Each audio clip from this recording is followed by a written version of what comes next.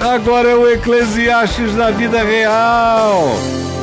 Os vaidosos heróis dos homens não passam de botões para disfarçar os buracos dos dejetos sociais.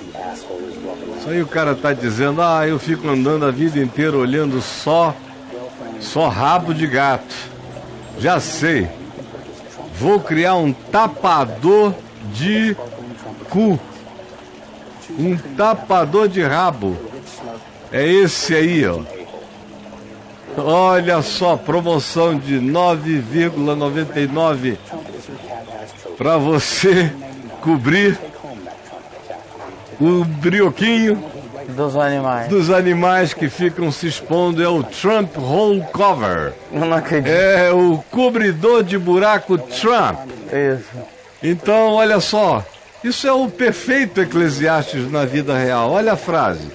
Os vaidosos heróis dos homens não passam no fim de tudo na história.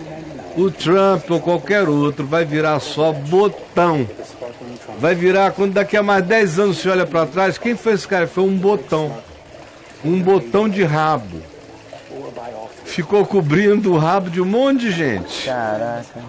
Que ao invés de assumir quem era, resolveu botar essa cara do bicho para fora.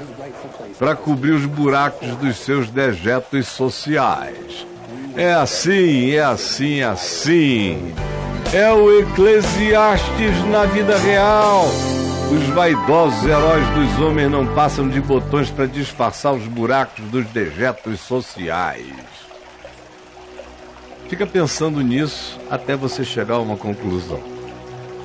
A ilustração é bizarra, mas o princípio é verdadeiro.